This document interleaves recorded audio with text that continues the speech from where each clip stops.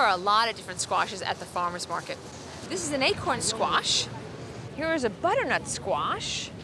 These squashes have very hard skins, so you can store them for several weeks at home.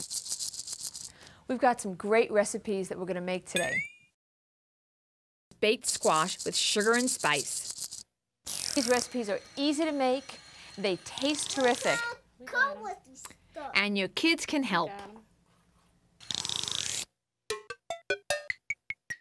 I've gotten all my ingredients together. Now I'm going to preheat the oven to 400 degrees. I took a baking sheet and I've covered it with tin foil. I'm going to spray that with a little bit of vegetable spray, and that will prevent the squash from sticking to the pan. Use a sharp knife to cut the squash. The skin is really hard. Scrape out all the seeds. Now, cut it into half moon shapes, about a half inch thick. Slightly salt the pieces of the squash. I've melted two tablespoons of butter. Now I'll stir that into three tablespoons of brown sugar, add one teaspoon of cinnamon, a quarter teaspoon of nutmeg, and one quarter teaspoon of ginger.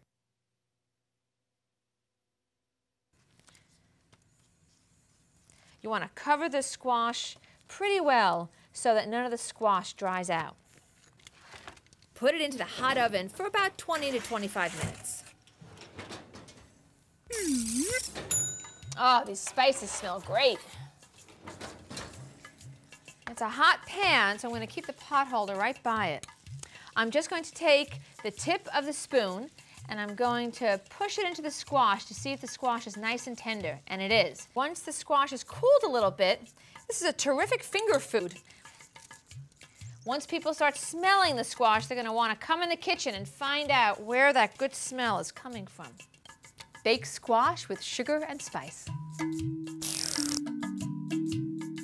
This is one recipe the kids can really help with. It's not dirty. Ain't not dirty. They're not dirty. Now give me something to wipe your hands off. Millicent and her kids cooked squash together. You want to help me put them on the tray?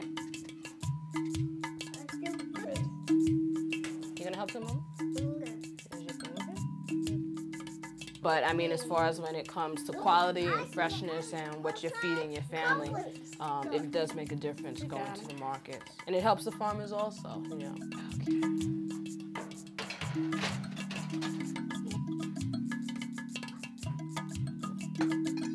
You sit at the table. Say squash. Wow. Mm. That tastes good. Mmm, chew it. Mmm, good. Mmm, good. Mm. Yes. Yes.